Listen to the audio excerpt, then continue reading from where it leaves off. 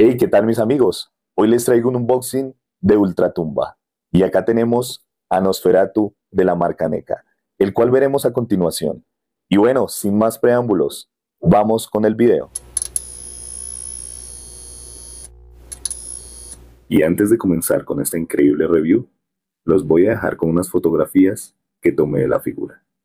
Y si ustedes son fans de las películas de terror clásicas, esta figura les va a encantar. A continuación veremos esta increíble figura de Nosferatu, inspirada en la película de 1922. Al respaldo de la caja podemos ver imágenes promocionales de nuestro personaje y debajo de la caja realizadores de la figura y la marca del fabricante. En el frente de la caja encontraremos esta ventana que nos deja ver a Nosferatu y una carátula que dice Nosferatu Sinfonía del Horror.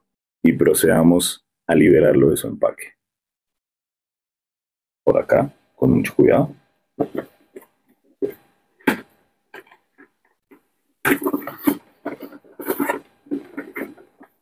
Y acá lo tenemos. Apreciemos el increíble detalle de esculpido y pintura que tiene Nosferatu, comenzando por su ropa. Miren el detalle de la ropa, los pliegues, el gabán con sus botones, las manos vampíricas, su rostro, las cejas características de este personaje, su cuerpo algo encorvado y su rostro. Obsérvenlo con esos colmillos, muy clásico de este vampiro. En articulación, Nosferatu puede girar su hombro 360 grados, puede elevar su brazo hasta esta parte e inclinarlo, doblez del antebrazo y giro del antebrazo. Giro 360 grados de la muñeca, elevación e inclinación de la misma. La articulación del pecho se ve algo limitada por el gabán. Esta figura también puede realizar un giro 360 grados de su cabeza, elevación hasta aquí e inclinación hasta esta parte. El vampiro Nosferatu también nos permite realizar un split algo limitado por el gabán, doblez de la rodilla hasta acá y elevación. Puede realizar giro 360 grados de su pie, de igual manera el otro. En el rubro de accesorios, Nosferatu nos trae esta cabeza a la cual le podemos poner el sombrero.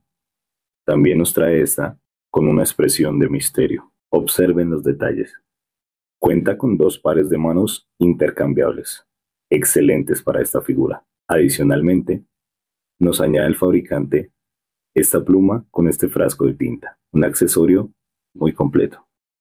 Viene también con este sombrero intercambiable. Este manojo de llaves también lo trae, un accesorio infaltable. El fabricante también nos añade esta botella con muy buenos detalles y esta carta que podemos ver en una de las escenas de la película. Y ahora démosle un vistazo a nuestro Conde Orlok o Nosferatu con algunos de sus accesorios puestos. Aquí observenlo con una botella en la mano. La verdad es una figura que nos da un sinnúmero de posibilidades.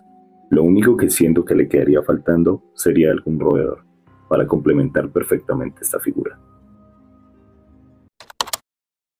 Y ahora comparemos el tamaño de nuestro vampiro con otras dos figuras de NECA, de la escala de las 7 pulgadas. A su derecha con el hombre invisible y a su izquierda con la momia, ambas figuras de la línea Universal Monsters. Y para finalizar mis amigos, los voy a dejar con esta imagen del Conde Orlok más conocido como Nosferatu. Espero les haya gustado este video. Y si fue así, ¿qué esperas para suscribirte? Cada semana les seguiré trayendo mucho más contenido de su interés y muchas más figuras. Y agradezco enormemente su apoyo a este canal diseñado para todos ustedes. Recuerden que cada semana traemos la actualidad en figuras, nuevos lanzamientos, aquella figura que estás buscando, cultura geek, cultura pop y tecnología y recuerden que estamos en las principales redes sociales como Holman Geek, un canal hecho para ti.